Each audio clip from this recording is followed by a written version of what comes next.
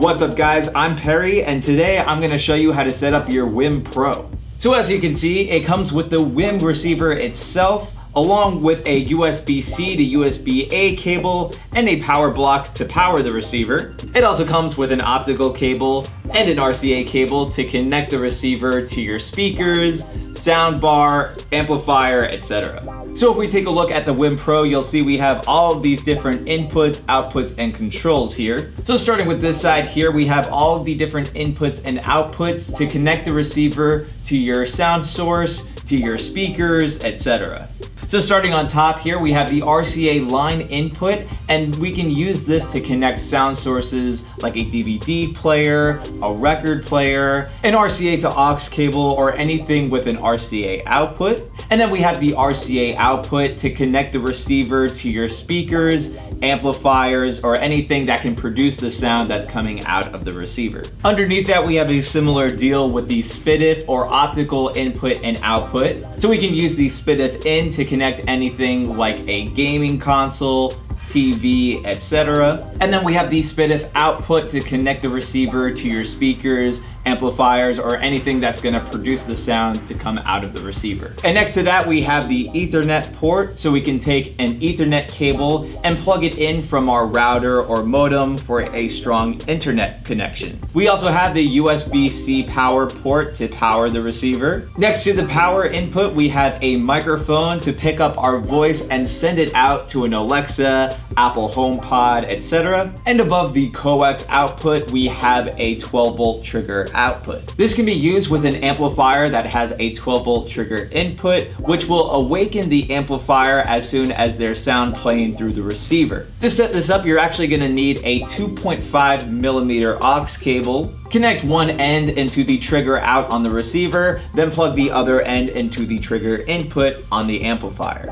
On the other side of the receiver, we have the controls. So we have the pause or play button to pause or play our music. We have the plus and minus buttons to control the volume of our receiver. And then we have the preset button, which will activate the presets that we set up on the WiiM app. We're actually gonna be going over this feature later on, but basically you can load in different content through these presets and activate them with the push of a button. So to power the receiver, you're gonna take your USB-C to USB-A cable and the power block. You're gonna plug the USB-C end into the power socket here, plug the other end into the power block, and then plug the power block into an outlet. From here, we can set up our WiiM Pro to our speakers, amplifiers, or whatever we're using to listen to music or watch TV.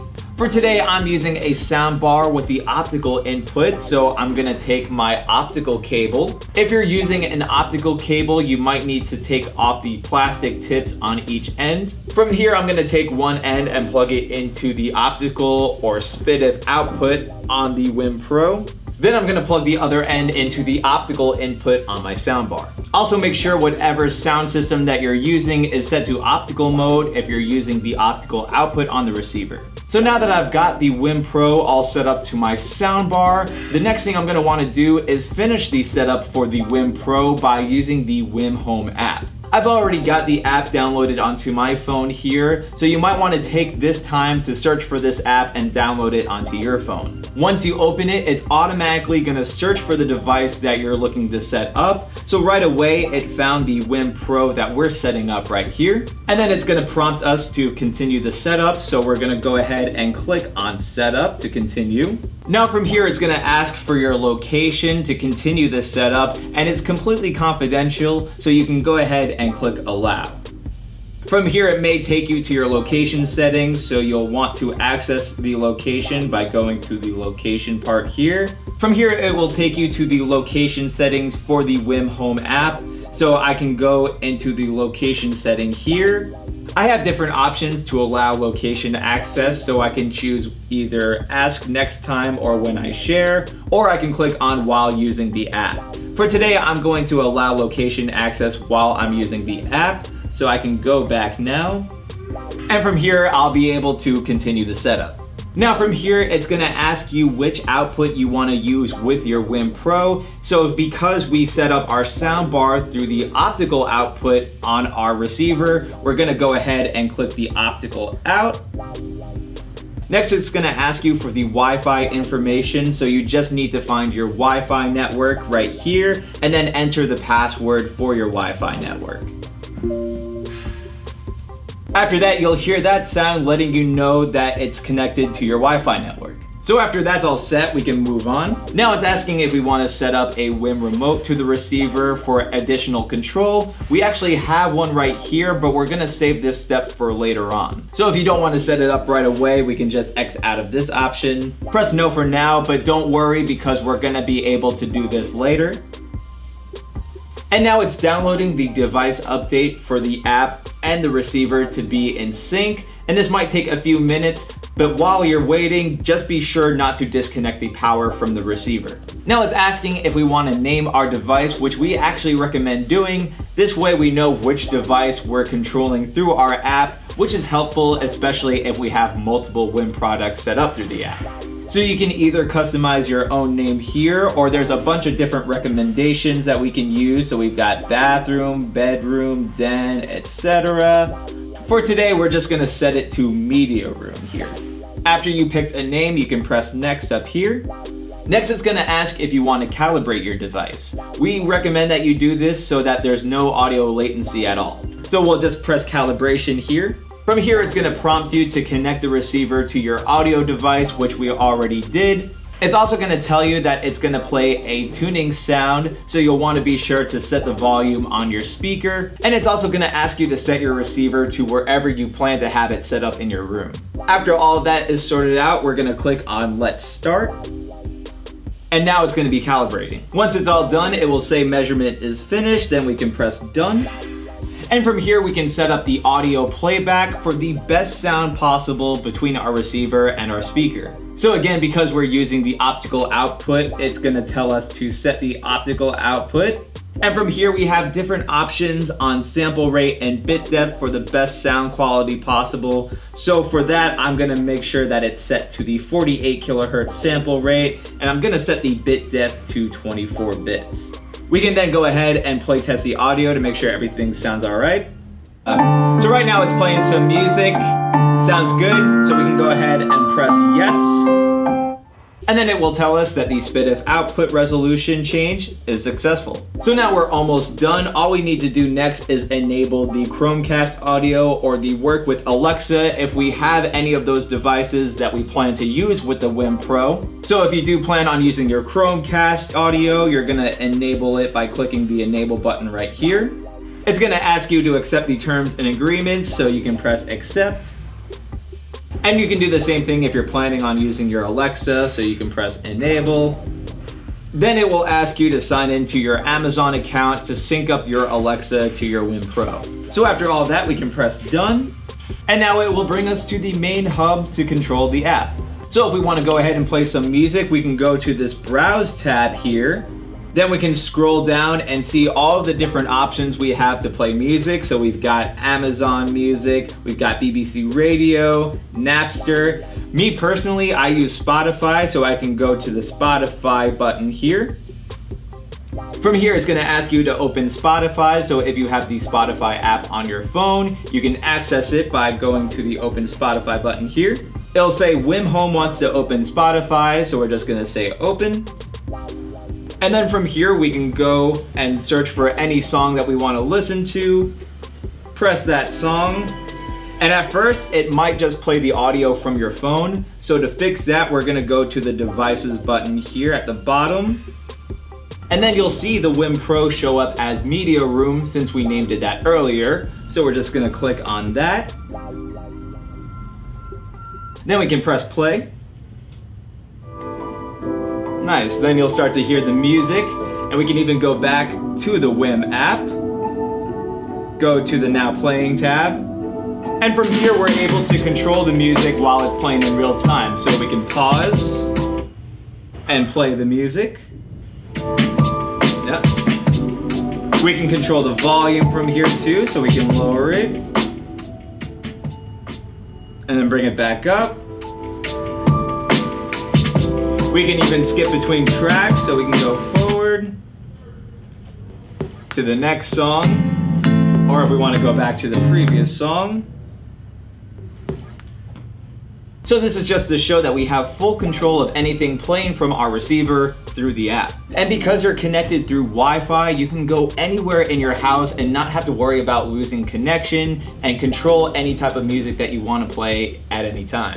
You can also access the settings of your app to make any changes. So we can press on this gear icon here from there, you can change the audio inputs and outputs in case you changed which ones you're using on the receiver itself. And you can also use the settings tab to switch other settings so you can rename the device if you wanted to. You can get more info on the speaker. You can set an alarm clock, go through the network status, and much more. Now, along with using the WiiM app, you can also use the WiiM remote to control your WiiM Pro. The first thing you're gonna wanna do is get a pair of AAA batteries and plug them into the remote, which we've already done here. After that, you're gonna go into the device tab of your WiiM app and go to the settings icon here.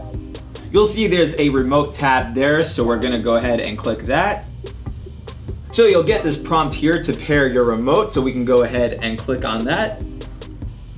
And now you'll see that the WiiM Pro is in the process of pairing the remote, and then this will come up once it's all done. Now, if that prompt to pair your remote to your WiiM Pro doesn't show up like it did with us, you can hold down the source and the mute button together for about two seconds, and then this will set the remote to the pairing mode. After that, you should get that prompt and finish the setup from there. So let me quickly explain what each button does here on the remote. So we got the standby button here to set the receiver into standby mode. We've got the voice control button here, so if you have your Alexa or Apple HomePod connected to the WiiM Pro, you can press this button and then it will wait for your voice command. We've got the volume control with the plus and minus button here to control the volume coming out of the receiver. We got the skip forward or go back buttons here to switch between tracks. And in the middle, we have the pause and play button. We've got the source button here to switch the source that's playing through the WiiM Pro.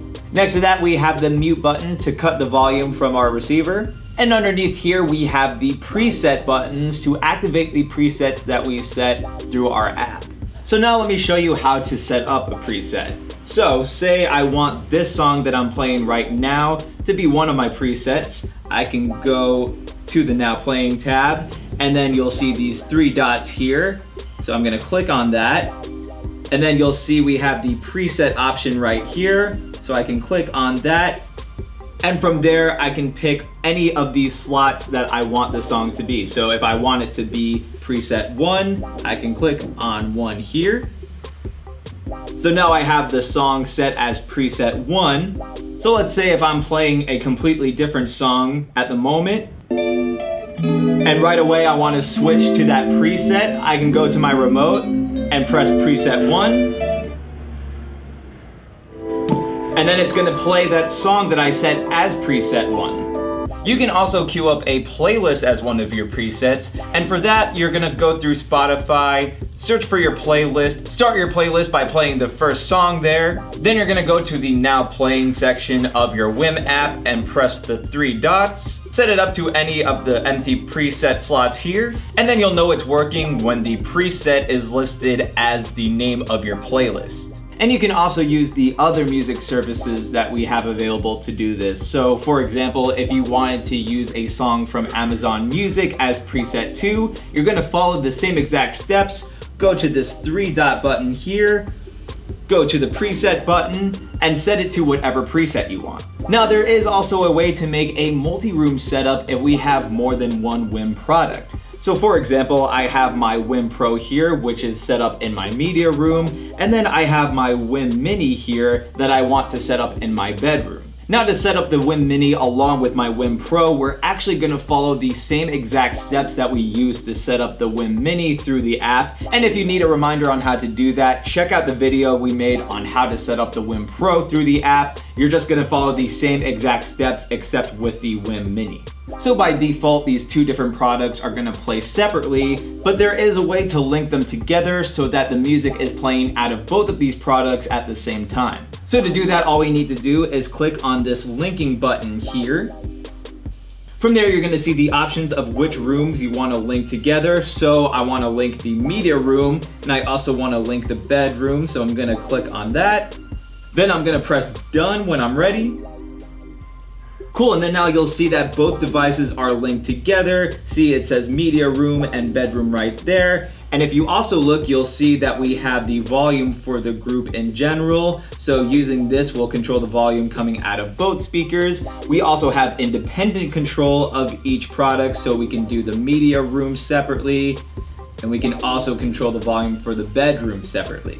So now we can go to the browse tab and go to an app to play music from. So I'm gonna go to Spotify, open Spotify, then we got the instrumental tracks that we were rocking to earlier. So I can click a song and then remember we can go down to this devices tab here to make sure that the music is playing out of both of these speakers together. Now the one thing I wanna point out is that you wanna look for whichever room is listed on the top here. So right where it says media room, that's the top room that's gonna be displayed whenever you're picking which device that you wanna play from, from apps like Spotify, Apple Music, etc. You're still gonna be able to hear both products together. It's just that the media room is listed as the top top priority with the bedroom attached. So again, that's just what you wanna select when you're looking for the devices to play from. So for example, let's go ahead and play a song from Spotify. Before we play it, we're gonna go to the devices tab under here, look for media room and click on that. So then we can go back into the WiiM app and press play. So now music is coming out of both rooms and we can go back and control the independent volume for each room. So I can lower it in my media room. Cool. Now you hear it mostly coming out of the bedroom. So we can lower that a little bit. Cool. So that's a lot lower now. We can bring the volume back in the media room. Nice, so we have a blend between two raise the media room a little bit. And then we can control the group volume also, so we can raise the volume on both at the same time. So this is really cool because you can take a product like the WiiM Pro and set it up with a 70 volt amp or a multi-room home stereo amplifier, which already has multiple speakers spread out through different rooms with different zones. And this would be a huge improvement on those setups because again, we're using the internet and connecting to the WiiM Pro to go anywhere in our house or building, as opposed to being limited on space by connecting our smartphone or tablet to those amplifiers and Bluetooth. Now on top of connecting multiple sources to the WiiM Pro at the same time, we can even connect our smartphone or tablet through Bluetooth. So to do that, we're first gonna set our WiiM Pro to Bluetooth mode by holding down the plus and minus buttons here on the front. You're then gonna see this green light flashing, letting us know that it's looking for a Bluetooth device to connect to. So then we can take a device like our tablet here and go into the Bluetooth settings. Then we're gonna look for our device here, and because we named it Media Room earlier, that's the exact name that we're gonna look for in the Bluetooth settings. So right here, we have Media Room at the bottom. Then we're gonna click on it to pair. And now we have our Bluetooth device connected to the WiiM Pro. So now we have some music playing through our tablet here. And what's really cool is that it's still set up to our different rooms. So we can control the volume for each room, lower it in the media room, turn it up in the bedroom, or uh, lower it a little bit in both. Very cool. And with the app downloaded on our phone and connected to both of these devices, we have the option to take over and play any music from any app. So I can go to Spotify and press play, and then that's gonna override the Bluetooth device I have connected.